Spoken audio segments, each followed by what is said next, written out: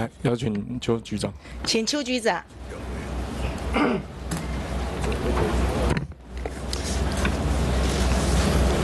陈委员好，辛苦，大概聊一下这个中国假讯息的部分，以及我们呃公开情报中心相关。不过因为刚刚的题目很有趣哦，我想再特别问你一下，你觉得中国好打还是美国好打？你觉得我好不好打？啊？你觉得我好不好打？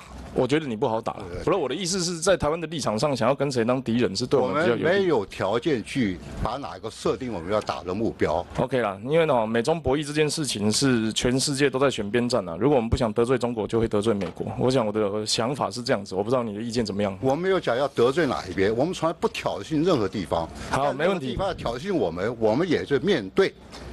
好，我给你一点时间把刚刚 被卡掉的时间讲完了。所以，我们来到今天的主题。在去年，我们把这个公开情报指挥中心、情报中心站这个裁掉哈，这大概是扁政府开始弄了十几年的东西。那想到这边呢，请教一下，你如果觉得不方便讲就不讲。我们当初关闭公开情报中心的缘由是什么？那我们的替代方案跟成效，以及有没有评断跟分析我不知道？委员讲这公开情报中心是针对的什么？我要是前前阵子我们在做一个调整，一个编组啊，这并没有裁撤啊。我当初做的调整是针对我们这个？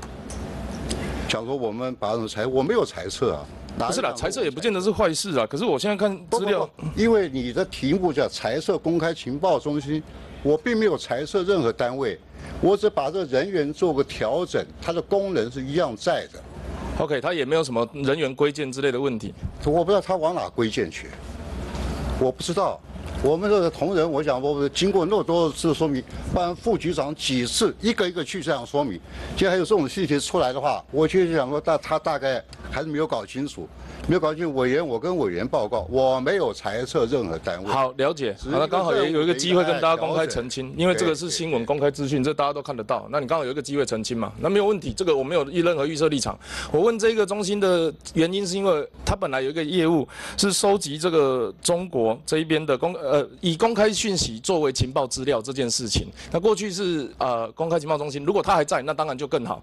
我要问的是它里面的业务哦，就以武汉肺炎为例哦，我们可能会收集到一些民间的资讯，可是呢，中国又是一个，它某种程度哦是一种。每一个人民都内化情报战的国家，原因是我们没有办法判断他们每一个人讲得出来的东西是对的还是错的。所以作为一个呃包含有很多网军、五毛、小粉红以及掩盖事实的国家，我们要怎么判断说我们情收到的公开情报讯息是可信有效的，或者是我们有没有什么侧面推估的方法？呃，情报来源不是单一的，是有很多管道。我们得到任何信息以后，我们所以为什么会有一个情研单位，他要做分析比较，从不同地方来的资讯做个归纳分析以后，可以得到一个结论，最起码可以判出这个资讯是真是假，或者它离真有多远，离假又有多大啊可能。你的回答让我很有信心哦。那另外呢，国外的这个有一些情报单位，坦白讲，他们是委托民间在做这个情报收集。请问我们有没有相关的啊、在中国我们有掌握到类似的案例，不见得要具体举证哦，但是对我我们有我们很多不管智库啊或者这些论坛啦、我们都持续在注意。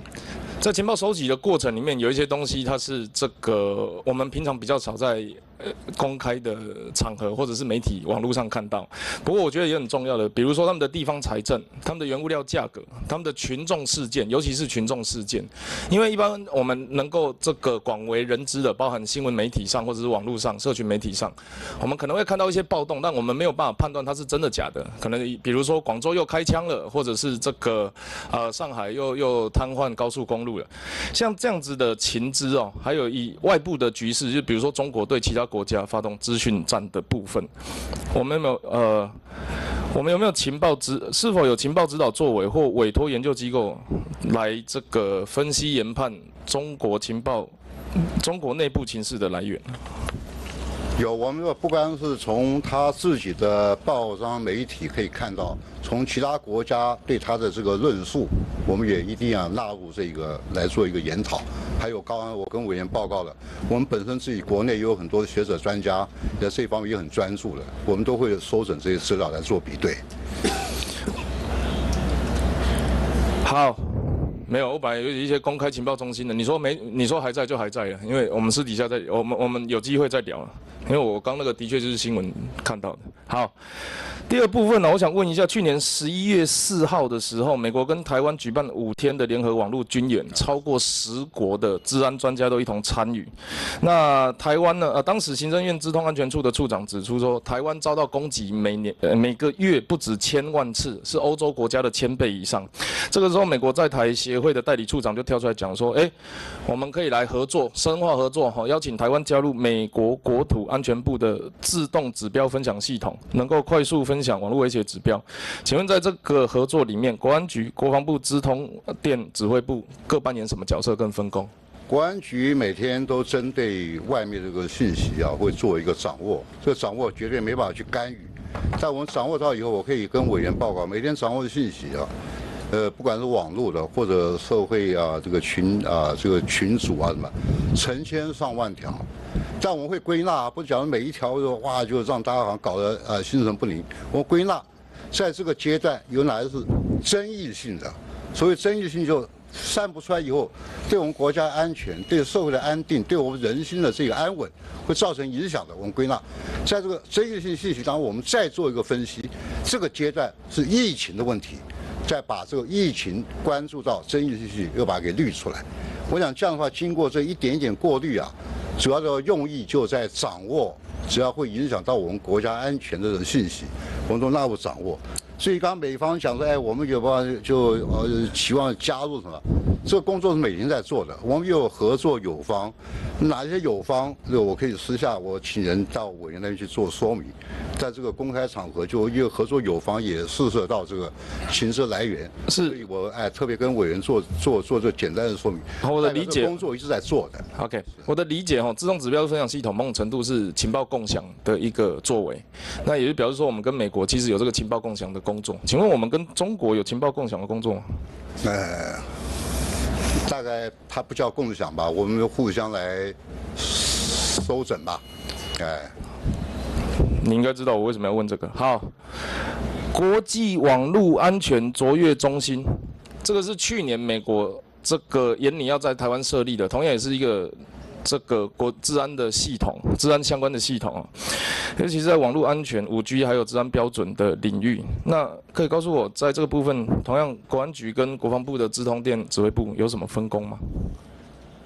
它是一个比较硬体，好，刚刚讲的可能是舆论内容，那现在讲的这个东西是新兴的标准、新兴的协定，啊，包含五 G 啊，包含这个治安协定。讲讲，那我请我们自动电视啊，没问题没问题，请跟委员报告好不好？呃，委员好，关于这这一段也是刚刚如同刚刚局长有讲啊，那在这一段的分工里面来讲，那当然在国际合作，包含友盟、包含管道合作的议题，那这一段呢，其实都是属于比较呃持续要去做，但是呢，有些事情我们必须要做隐，必须要做一些隐秘的。好，简单讲一下，因为上一次我们私下拜会的时候说，双方有很密集的在讲这个包含情报的工作的分工哦。那可能次数因为蛮频繁的，那蛮频繁有几个问，有有几个可能性嘛？第一个就是你们真的很密切在讨论如何分工，但还有另外一个情况就是其实还没有瞧好。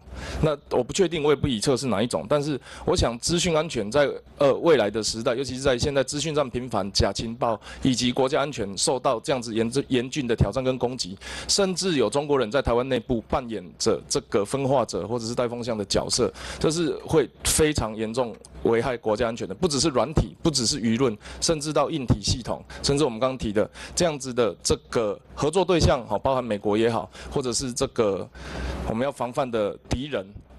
这些事情都会是我们未来非常重视的重点，就是在治安的领域上面。我知道有跨很多部会在管这件事情，那我未来也会一一拜访啊，希望能够获得台湾国家最好的保护。谢谢你们辛苦了，Thank you。